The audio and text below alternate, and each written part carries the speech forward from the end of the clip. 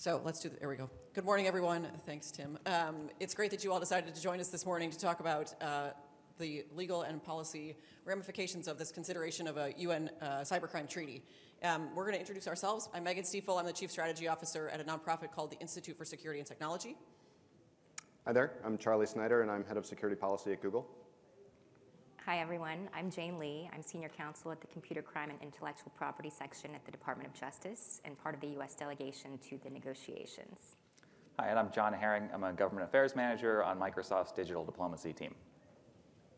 So, um, of course, you all know that, that cybercrime is an international problem. Um, and we're, we wanted to do a, a, number of things with this panel, but also in particular think about how we can break down what's going on so, in a digestible manner. So we have a great group of um, panelists who can talk to you about both the government and uh, bilateral, multilateral ramifications of this, but also the ramifications for companies who are involved uh, and can be impacted by these negotiations.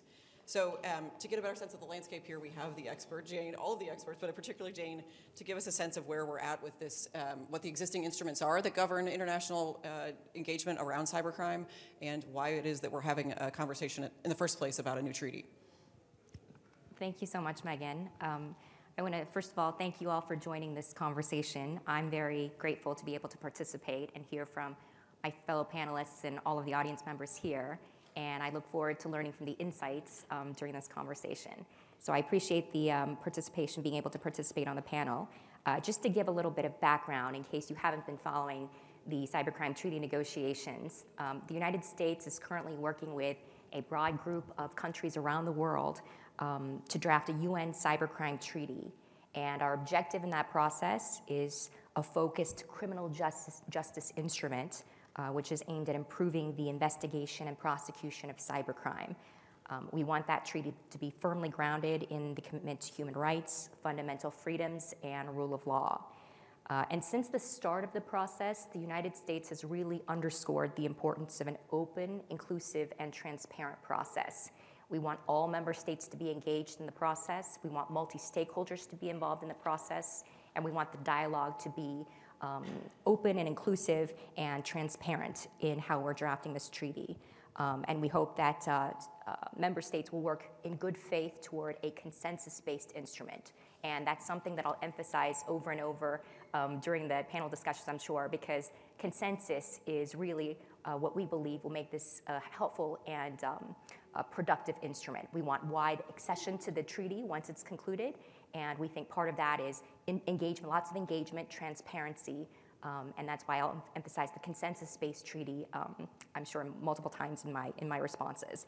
But in terms of where we are in this negotiation process, uh, our US delegation just returned from two weeks, just returned this past weekend, so apologies for jet lag. Um, we just returned this past weekend from two weeks at the fifth negotiating session in Vienna, Austria. Um, and during that session, member states and multi stakeholders had the opportunity to share their ideas and proposals on the topics of international cooperation, technical assistance, prevention, implementation, preamble, and final provisions.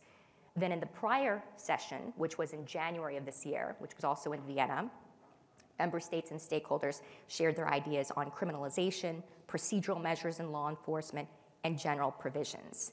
So, based on all of the past proposals and comments from member states, the chair and the secretariat of the ad hoc committee, and the ad hoc committee is the committee that's currently working on negotiating the cybercrime treaty. So, the chair and the secretary will produce a zero draft of the treaty text in mid June. So, the current date that we have for that is approximately June 20th.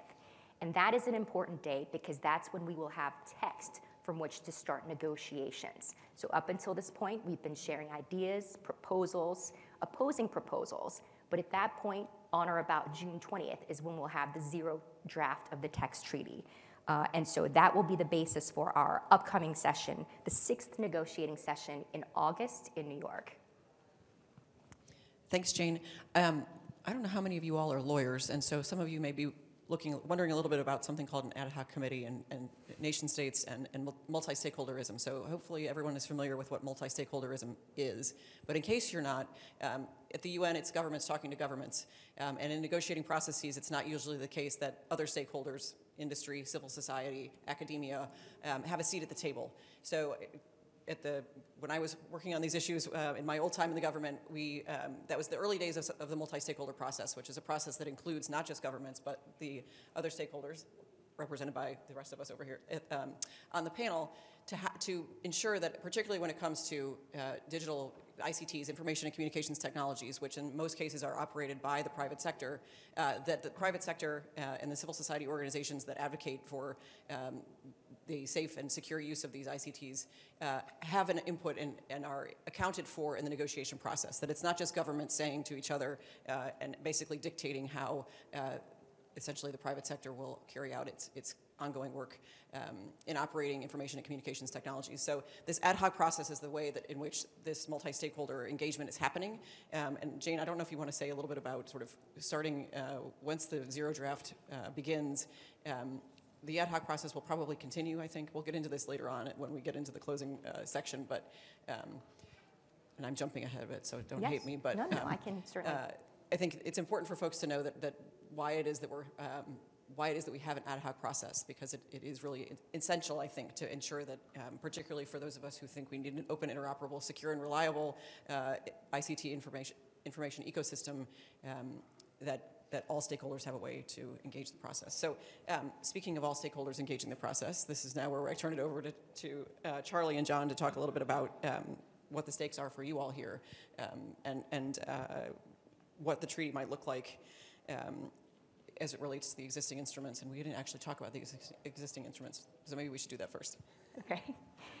Um, I'm happy to start with that discussion of existing instruments. Um, it's an important question because as the U.S. is engaged in this process, we've been very concerned about how this treaty will fit into the current landscape of existing instruments.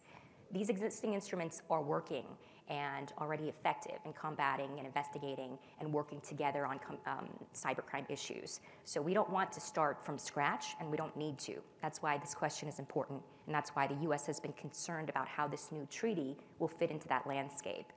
And it's not just the US that's been concerned about how it'll fit into the landscape. It was also called out specifically in the UN General Assembly resolution calling for the creation of this ad hoc committee. In that resolution, it specifically called for taking into full consideration existing international instruments and efforts at the national, regional, and international levels. We don't want this instrument to undermine existing tools and channels for cooperation that exist. Uh, so, speaking of the existing instruments, the important ones, the Budapest Convention on Cybercrime. You may be familiar with this. It has 68 country uh, parties from around the world and 20 additional countries that have either signed or been invited to accede to that convention. And that Budapest um, instrument outlines core cybercrime offenses and processes, uh, uh, excuse me, and provides for procedural powers to secure electronic evidence. Uh, Budapest also serves as a legal basis for international cooperation. And even aside from these 68 party countries and the 20 additional coun- um, countries that have either signed or been invited to accede, many more countries around the world have used Budapest as a model for their own domestic legislation to criminalize cybercrime offenses and for the basis for procedural authorities to investigate and prosecute uh, cybercrime within their own national legal frameworks.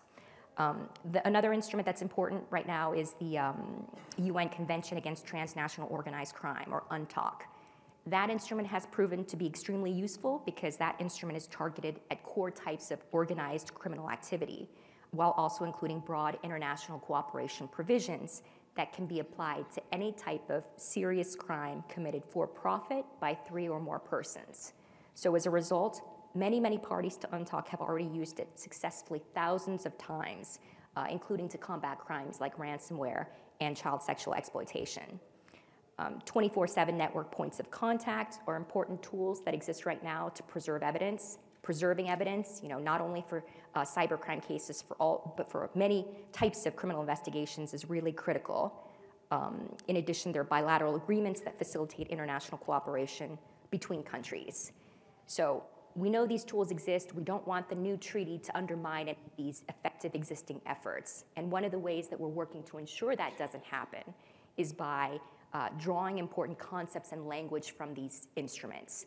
So by doing that, you know, we avoid con- causing uh, conflicts with these existing effective instruments, and also we think it's a good way to build consensus among countries that have already signed on to these other instruments. Um, we recognize the fact that any final cybercrime treaty that we um, uh, negotiate in this context in the ad hoc committee will have to work alongside of these existing instruments. Thanks, Jane.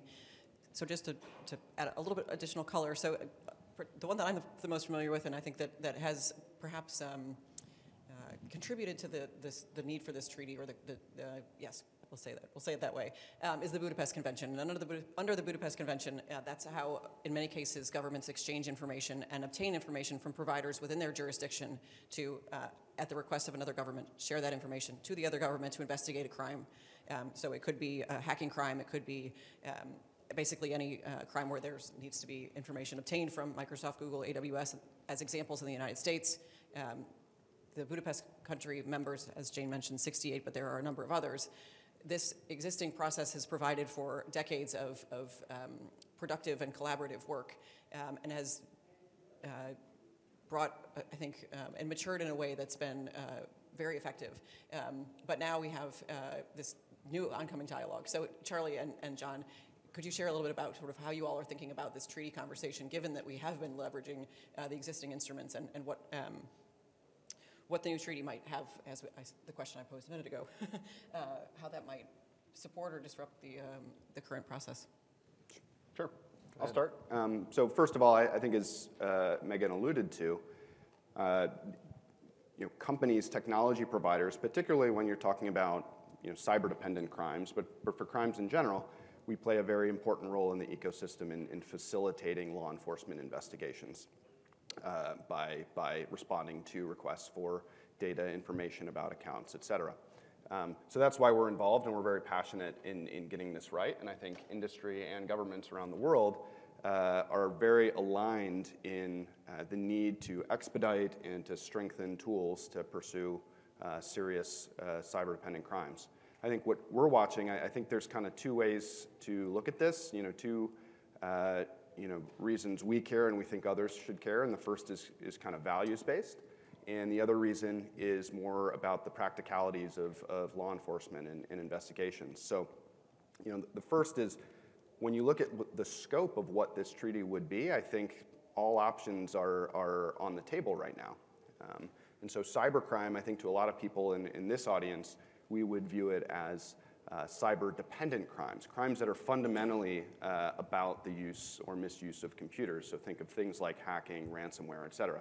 There's an alternative view uh, that cybercrime is, is uh, you know, any activity that has to do with crime online. And I think as we all know, you know, this is why we're here. In the modern world, basically every aspect of life uh, touches digital technology in some way. So should this uh, treaty be about hacking and ransomware and, and serious online threats like that? Or should it be about a much broader spectrum, uh, including things that aren't commonly accepted uh, as crimes all over the world? Um, you know, different countries have obviously different, different legal traditions and different things they would consider crimes. So we're closely watching that piece. And because of that, um, I, you know, we have a vested interest in making sure uh, that law enforcement requests can be uh, handled expeditiously um, and one of the biggest challenges in, in doing so is conflict of law. And with these different legal instruments uh, in conflict, every request we get, we need to evaluate that it's a lawful request, it, it respects human rights and things like that. Um, if this treaty complicates that picture, uh, it's going to be counterproductive. It's going to be harder for, uh, for governments to get the access that they want to get from technology providers um, because it's going to take us longer to evaluate and make sure that it's not you know, a, a, request isn't in conflict with, you know, other legal regimes. Um, so those are the things we're watching. Yeah, kind of co-signing everything uh, Charley just spoke to uh, there. It, it's a little bit difficult to kind of determine what the exact stakes are um, until we see a sort of draft treaty that Jane alluded to that we'll hopefully see in June. You know, at this point, all we've seen are sort of consolidated drafts of proposals. Uh, from various countries, which run the gamut from you know quite reasonable based on existing instruments to quite absurd. Um, so I'm on a mission to alarm a little bit and to encourage greater awareness and engagement um, because I do think there is potential for this to be you know, quite a troubling development if it kind of goes in the wrong direction. Um, and you know, to my mind, it, it, focuses on, on two things in particular, scope, which Charley referred to, and then also the, the processes involved. You know, what is cybercrime and how can we keep that narrowly tailored to what we've traditionally understood to be those cyber dependent crimes. Um, and then also, what are going to be the processes included in this treaty um, to, to enable uh, law enforcement cooperation here? There's, you know, that, that includes everything from how long data might need to be retained by companies uh, to, you know, how is, how is the request for that data taking place? Um, there have been proposals to have that not have to be uh, with the inclusion of the, of the government where the uh, company is, is located. Um, so there's a lot of troubling uh, potential scenarios here on the other side. Obviously, any treaty negotiated at the UN uh, or anywhere is only going to be governing over the countries that sign on to it. So there's sort of some silver lining there that even in a worst case scenario, maybe it just doesn't get a lot of traction. Um, but even then, as we've been sort of discussing here, if it conflicts with existing instruments, um, like the Budapest Convention, most notably, you know, all of a sudden, then, as an international technology company, you're in a bifurcated world um, where you at least have two fairly incompatible, uh, you know, international legal processes in place, um, and, and one of which may be uh, quite misaligned with the values um, of, of, of your company, and certainly the values that are reflected in the Budapest Convention and that have been uh, you know, core to, to cooperation on cybercrime for, for 20 years now. At least there. Yes, well, I share your alarm. Um, so again, that's part of why we wanted to talk to you all this morning. So we're grateful that you're here, so you can share the alarm bells um, far and wide. Um, so thinking about kind of the, the, the macro here down to um, the micro around kind of individuals and groups specifically that, that are, we're most worried about in these negotiations as kind of the most vulnerable. Um, what would it mean to include appropriate protections for them in the agreement itself? Who wants to start? I'm happy to keep going. Keep going, John. I Sure. think you are on a roll. yeah, I mean, the, you know, the, the, to kind of bring everybody back to the, the beginnings of this process, this is not a, uh, a negotiation that was kicked off by a bunch of countries that are party to the Budapest Convention. You know, this is a process that was kicked off by countries that seem to be a bit revisionist, um, and I think there are some concerns that it could cater to authoritarian and undemocratic interests um, when it comes to you know, policing the, our digital environment.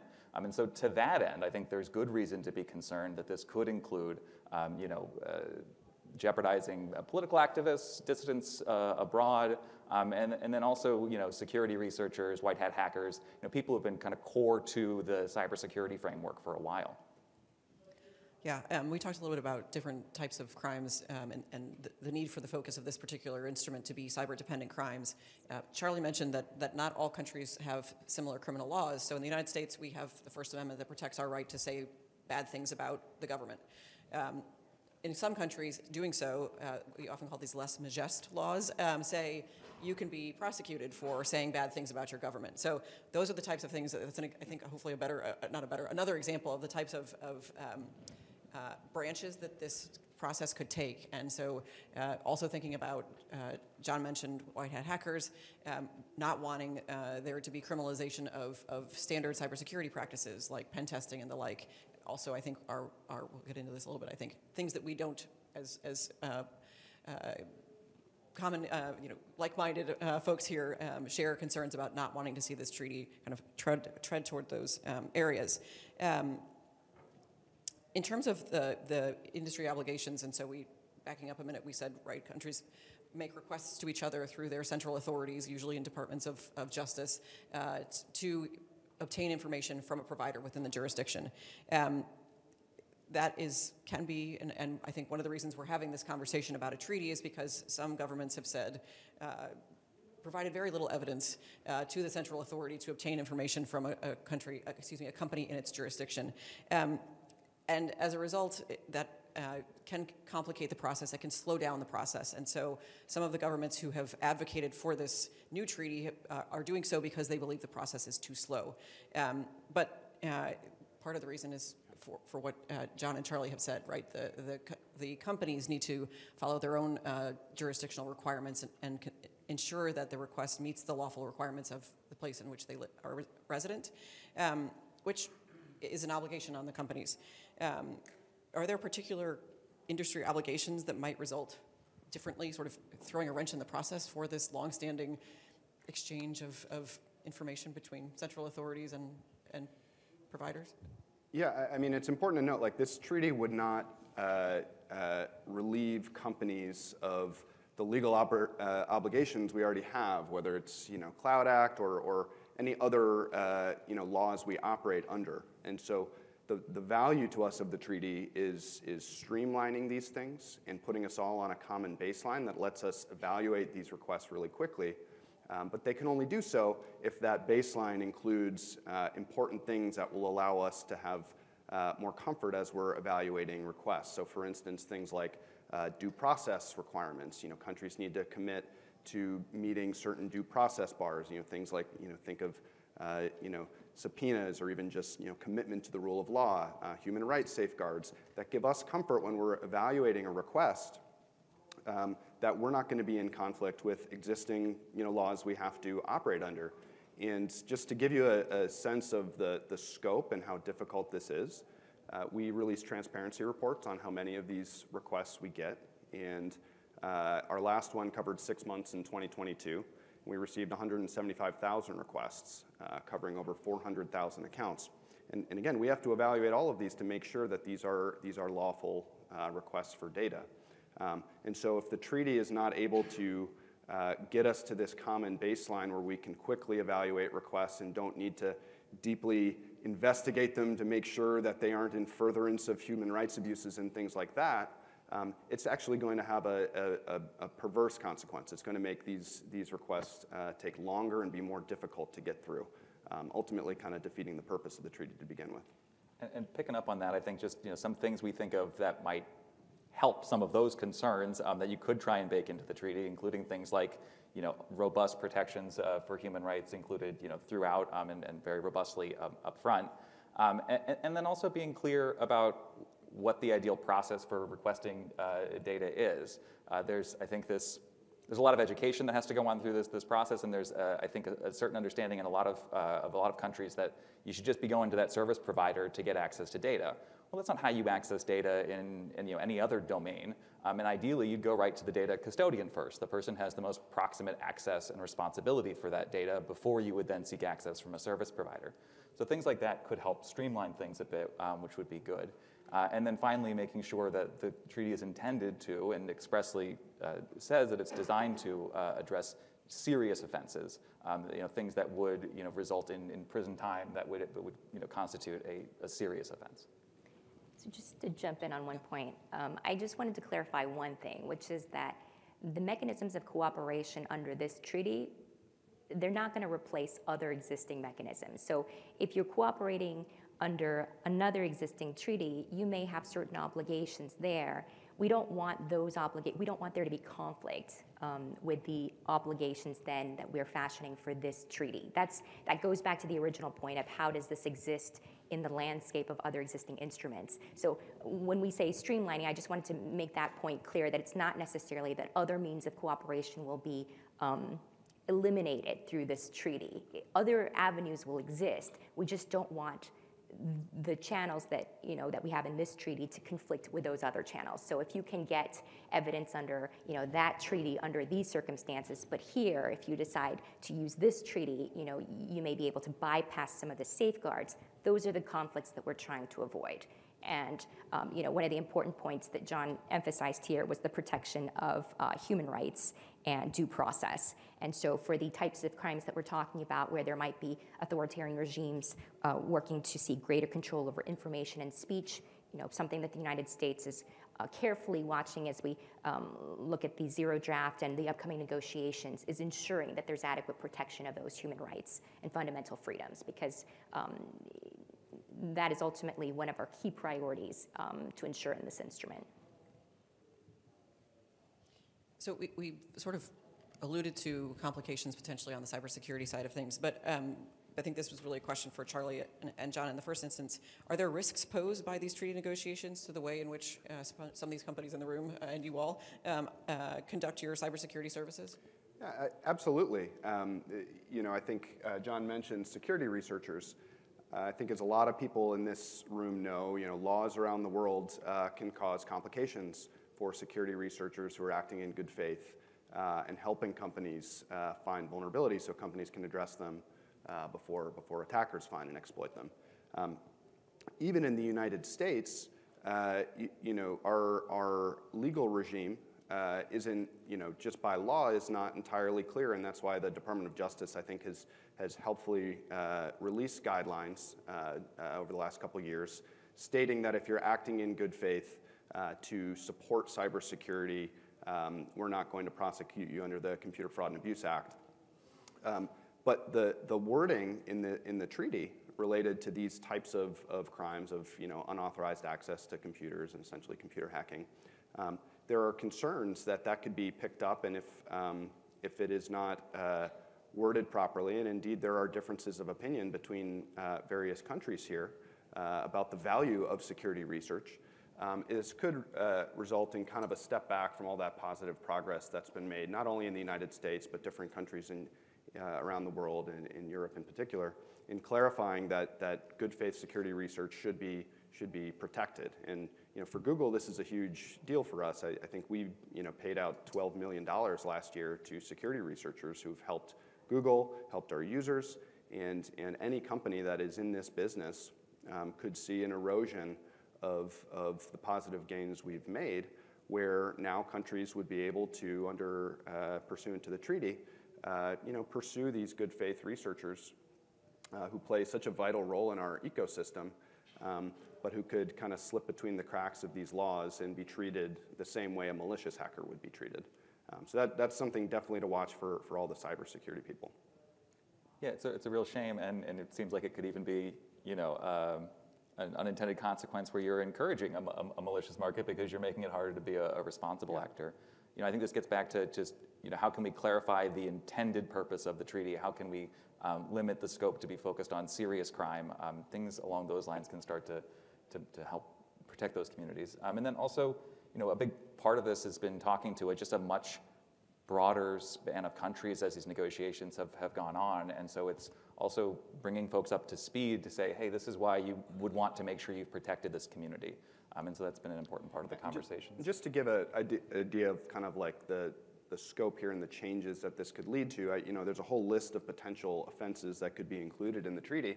Most of these countries do not have laws uh, relating to a lot of these things. They may not have a computer hacking law, and they're going to be adopting it, uh, you know, based in part on, on how it's written in the treaty.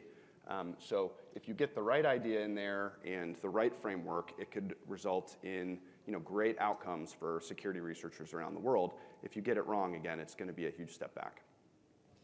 So in terms of the, the, the promise, right, the, the, to go back to our title here, um, and apologies that this slide was, I didn't update it when Jane joined us. So um, she's from DOJ, and we have someone here from, uh, at least one person from state here as well. So um, uh, we're, we're still talking about the promises here. We, will come back to the promises. So uh, this question obviously is for Jane. Um, from a government perspective, are there things that U.S. and partner countries would like to see out of these negotiations that could improve um, efficiencies or otherwise support a more robust response to cybercrime?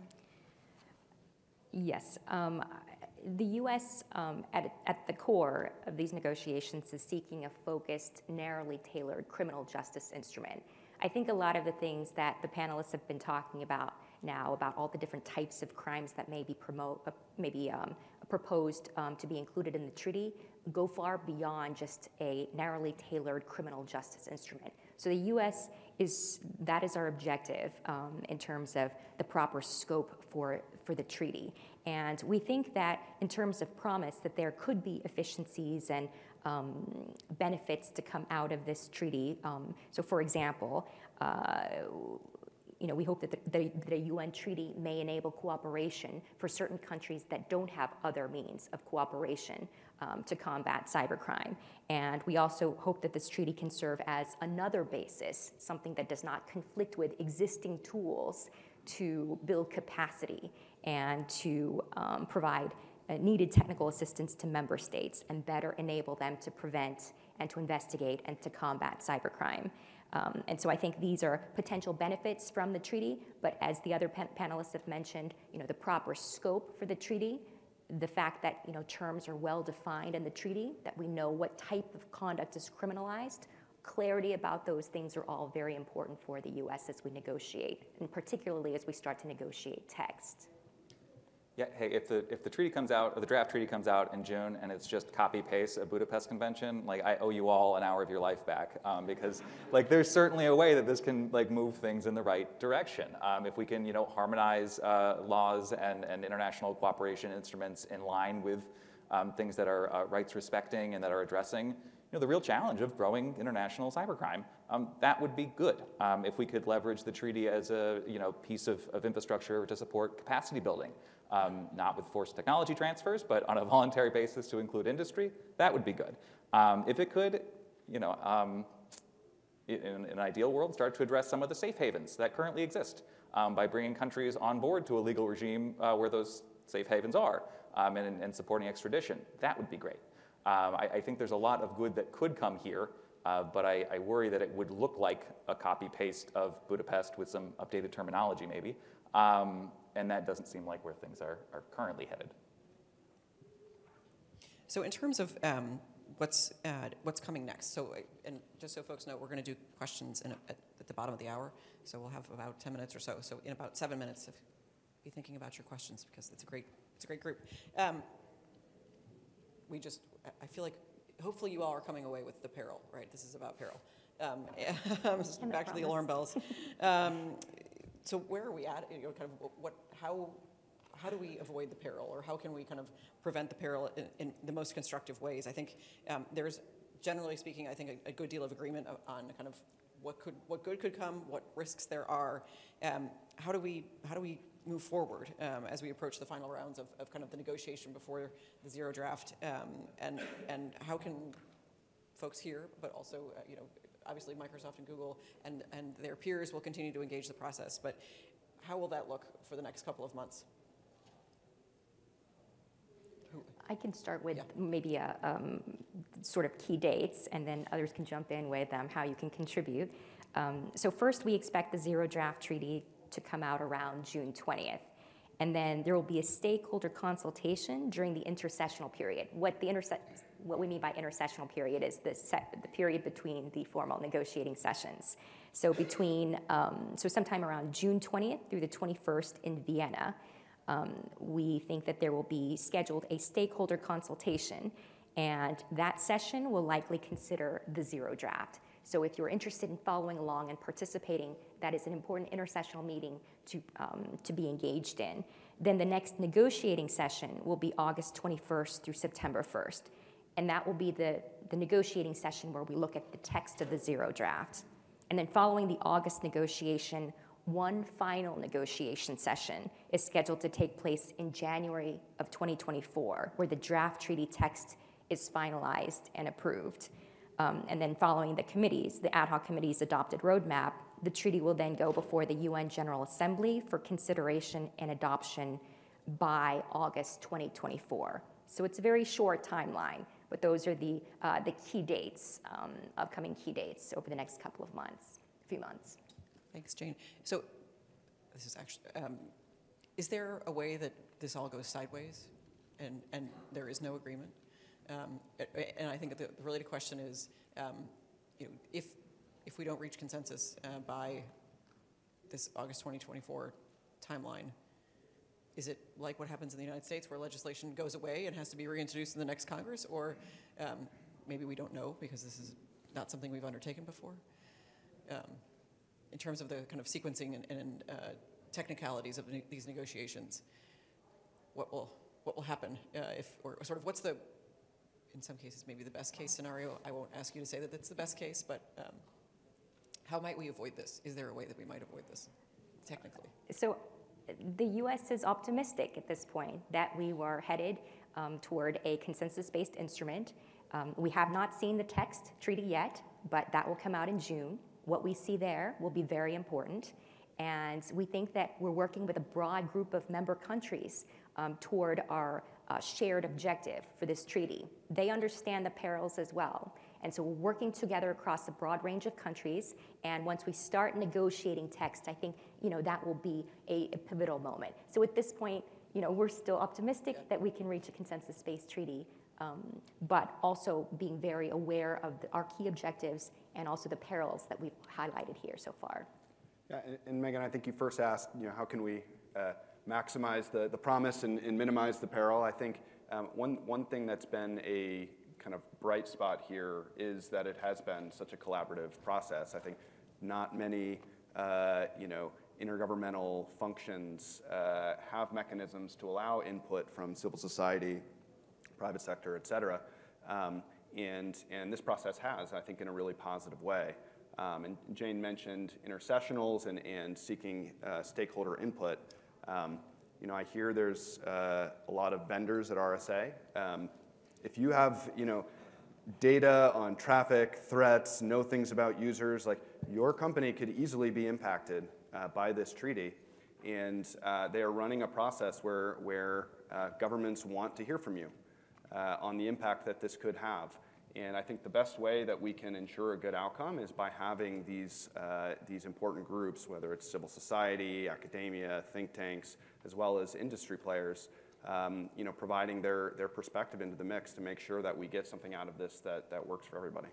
Yeah, I, I might just add to that. I mean, um, I think in terms of maximizing the promise, uh, it, it's about winning votes at this point, um, where it will be, you know, as, as the process moves forward. And uh, to, to Jane and the DOJ and the State Department's enormous credit, um, I think they've a been phenomenally consultative um, with the, the private sector and, and broader multi-stakeholder community, um, but then also just so much engagement with that broad coalition of countries. And of course, that includes those 68 states that are already on board with, with, with, Budapest, and then obviously like the multitude of other states who are just at very different levels um, of, of development as it relates to you know cybercrime and, and being prepared to, to combat that. And, and it's a, not an easy conversation. You know, when you want to say, hey, the cybercrime treaty should not be focused on you know violent extremism or it doesn't need to include these content restrictions. Well, if you're a country that's navigating those challenges, they can seem very proximate, and why shouldn't that be in the cybercrime treaty? Um, and I think those are difficult conversations that have been happening um, and have found a lot of, of, of good headway. Um, and so credit to all of you guys for, for doing that work. And I think it, it's incumbent on you know, all of us who are adjacent to um, this process by virtue of working in this industry to, to support those dialogues as well. So just on, on sort of an administrative point, um, you mentioned, Jane, that there are like two, two windows this summer to keep participating or to join the conversation, but what's been the most kind of effective way that, that you've um, consulted? Has it been the in, in-person meetings like this, the written, uh, written contributions or direct participation in, in the ad hoc? You know, do you have to be there to participate or can, are there other ways that folks can join the conversation? I mean, there are several different ways. Um, we've seen really a robust model of stakeholder participation um, emerge through this AHC um, process, as others have talked about. The modalities themselves for this ad hoc committee were very forward leaning um, an application process for both stakeholders already accredited through the UN Economic and Social Council, ECOSOC, um, and stakeholders without that status, which saw more than 200 stakeholders without prior UN ECOSOC accreditation um, and dedicated stakeholder consultations ahead of each negotiating session. So the engagement has been, has been robust, but we encourage more. Um, so to take full uh, advantage of those modalities. We encourage those who have accreditation to participate directly. Um, we realize that direct participation is a big time commitment and resources for you all, and you have other responsibilities, but it provides a really unique opportunity to be heard by a really wide number of member states and countries. And I know that, you know, it's just um, the companies that are represented here, they've been involved directly, and other countries, not just the U.S. delegation, but other delegations have also engaged with them directly on, you know, sideline meetings and um, dialogue. And I think that's been helpful for um, really en- enriching the conversation that happens during the member state discussions also. So um, that's definitely been a, uh, a benefit to in, in-person consultations. Um, and in terms of best informing the United States and other countries of positions, your positions, written input with specific edits or changes to the draft negotiating document. Um, looking ahead to the zero draft treaty. That's a very concrete and quite useful way to uh, pass on your comments and thoughts. Um, and that, you know, that said, we applaud all of your efforts to be engaged and um, encourage you to be as engaged as, as you can. Terrific. Speaking of engagement, this is your turn. Um, questions are, are welcome. Um, I will kind of moderate the questions, um, so hopefully I won't have to, though. And I know Tim Stark's going to be very kind. Um, I'm probably going to be annoying and not kind. I'm, I'm not not kind either. Um, I'm, there's a process part of this that's confusing to me. You, we, you keep talking about consensus-based instrument. is there, does there come a point where in the negotiations you say we're going to have a vote, there needs to be unanimity? What's the, I don't understand how things advance from where they are at, to the point of a vote before the United Nations fully. I think that's for Jane, probably. Sure. Um, so the reason that we emphasize consensus is at the end of the day, whatever the instrument is, we want wide accession, right? So if there's not consensus and it's driven by a vote of a few or by a minority, you know, that's not going to ultimately not going to be an effective instrument. In terms of processes for this um, particular treaty negotiation process, uh, there are if consensus cannot be reached, and it's determined that consensus cannot be reached, uh, there are some steps that would then lead to votes, which John alluded to earlier. But at the end of the day, we don't think it's in anyone's interest for it to go to votes because an instru- international instrument really it's only as effective as how much participation you have. If you're talking about the international cooperation, you know, a- an instrument that doesn't have widespread accession, it's not going to be a valuable instrument at the end of the day. So that's why we're encouraging and really optimistic about the consensus process. But in terms of sort of the technical logistics of it, um, written into sort of the fine print of the of the committee, if if it's determined that consensus cannot be reached, then there's a process sort of uh, going with the chair and then. Um, uh, other bodies, important bodies as well, then votes can um, uh, play into the picture. But um, at this point, we haven't seen the treaty text yet, and we're optimistic that um, con- countries are still focused on a consensus driven approach. Thanks. I think we'll go over here and then we'll come back over here. Thank you, Megan. Um, Khaled Fattal, uh, this is a media question, and I'm, I'm sorry I had to come to this microphone. Now you're going to be watching a tennis uh, match moving back and forth. Um, you asked, Megan, you asked a question earlier on that I wanted to ask, but I'm, uh, what I'll do is I'll follow up on it. I'm, I'm certain you guys want to see the peril eliminated and the process accelerated as well. The challenge that I, that I find is if we focus on the word peril, and by the way, I have been, I've been involved in global infrastructure of the internet since the mid 90s, and I've actually attended UN events at the invitation of Secretary General Kofi Annan and the first consultation of the internet uh, to, that created internet governance uh, back in 2004. I have seen how the, the uh, negotiation on text goes. So if you think you're trying to save us an hour, my God, I can save you years. it's challenging.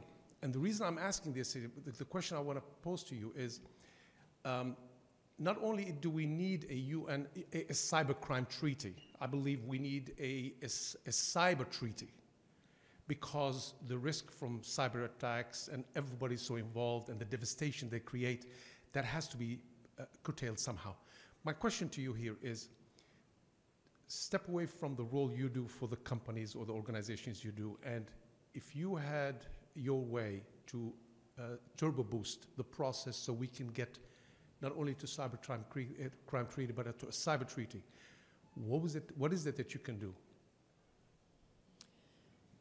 Well, that's a tricky one um, because I That's don't know why that- it's, it's a yeah, challenging yeah. question. Yeah, well, um, This is to the I- all panel, to the panelists. I think. I, I, I- well, no, I, I've started this conversation. I, I would just say, you know, it's, ex- it's really important that this cyber crime treaty remain focused on cyber crime. Um, and that we feel very strongly that this should not be bleeding into broader conversations around cybersecurity um, and, and state behavior online or, or things more broadly. And I think our, our, you know, going back to our original sort of points at the outset here is that the scope, I think, is what's going to be the most critical piece of this to make sure it doesn't bleed beyond that. So there certainly is an important conversation to be had around expectations for responsible behavior by all stakeholders online. Uh, that takes place in a different UN committee. Um, it takes place in a working group that I think feels fairly stymied at the moment in very complex geopolitical times. Uh, but I think conversations around peace and stability online are, are meaningfully distinct and should stay distinct from a cybercrime conversation. Yeah. Other question?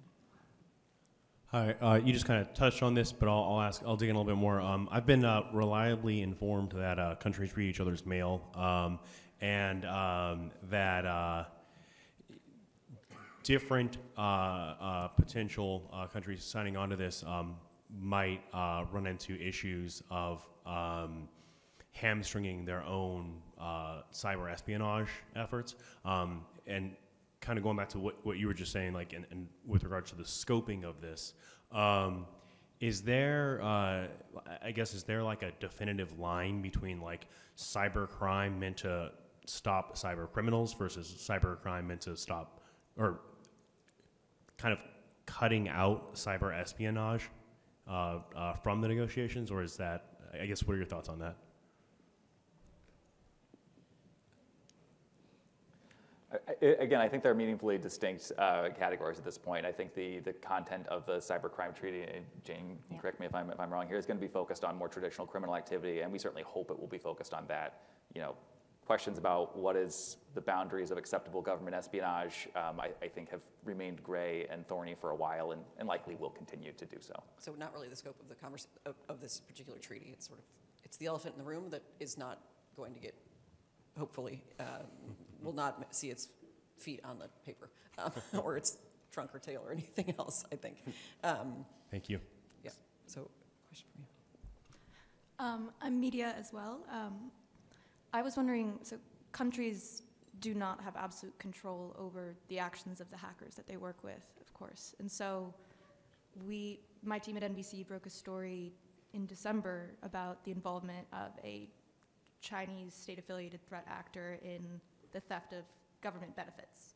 The question at the highest levels from all of our sources was like, we have no idea to what degree China is aware or not aware or directing this. So how do you, in context of those struggles around attribution and the links of hackers to the state, avoid this becoming a peril of escalation from a geopolitical perspective? I, I mean, I, I think similar to the, to the gentleman's question that was just answered, I, I think the, I think we feel that the treaty should be limited to more traditional uh, computer crimes. There are separate statutes for things like espionage um, that I think, you know, we, you know, if governments can figure, figure out how to, how to handle, you know, international espionage things, I, good, best of luck. Um, but uh, limiting it to more traditional computer crimes, uh, I think, kind of sidesteps that question in the same, you know, in the same way as the previous question. I think that's that's my view. Yeah, and I'll just add, I uh, echo that completely. So in, in your example, it would be how does the country then prosecute, or, or the prosecutors in that country prosecute the criminal actors?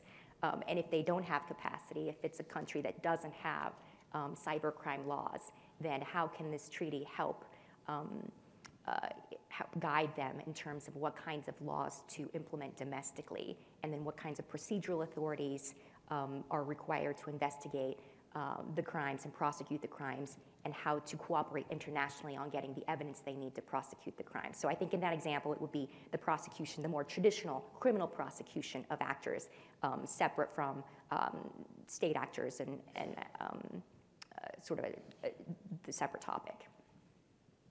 I think Um, you, you have the my last question. uh, my question relates to who can submit such requests, you know, potential unintended perils. Um, there are countries, federal governments, where states have different uh, definition of what's the crime.